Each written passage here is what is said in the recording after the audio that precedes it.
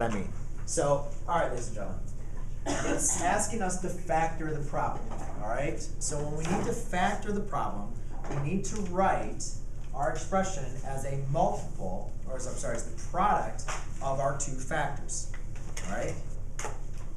So that's all we're trying to do is trying to write this as a multiplication problem.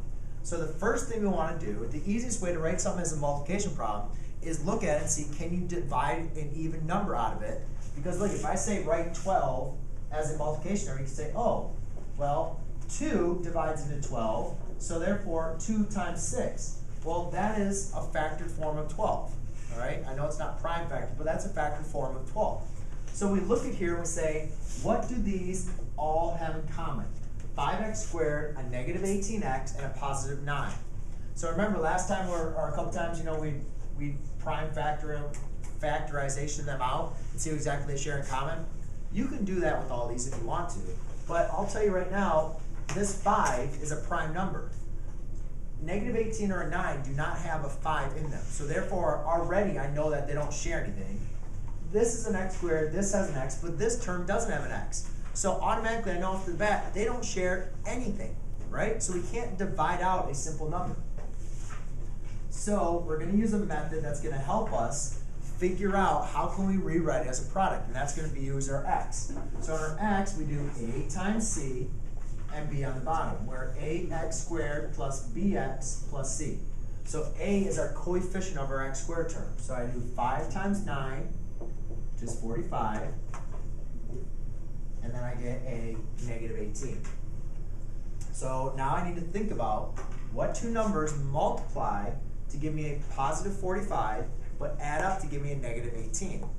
Well, when you start looking through the multiples of 45, you're going to get negative 15 and negative 3. All right?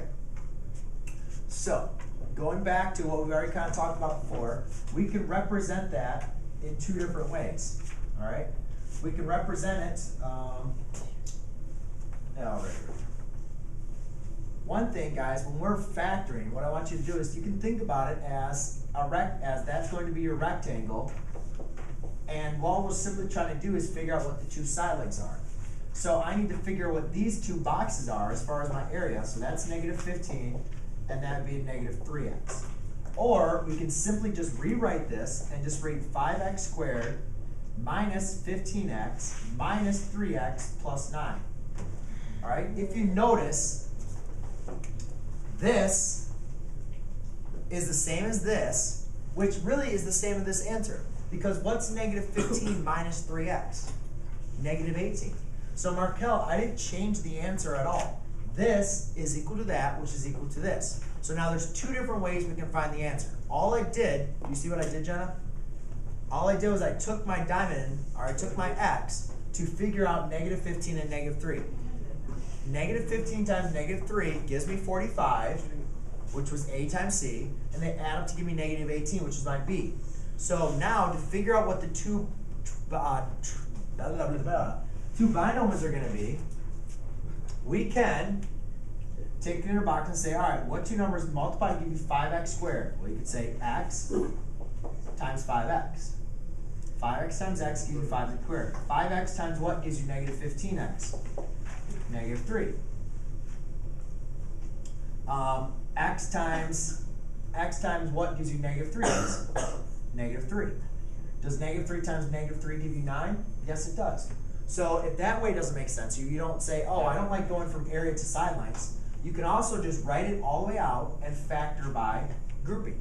So what do a 5x squared minus a 15x share? Do they share anything? You can say, yeah, they do share. They have a 5 and an x in common. So what I can do is I can divide out a 5 and an x.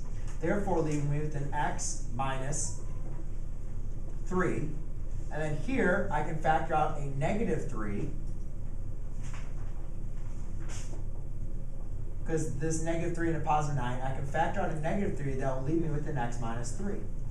So now I look at this whole expression and I say, what do these share? Well, Andre, they share an x minus 3, so I can factor out an x minus 3 and then what I obtain is a 5x minus 3. And what you'll notice is x minus 3, 5x minus 3. Exact same answer both ways. All right? So there's two different ways to solve by factor. That didn't make Alright. sense.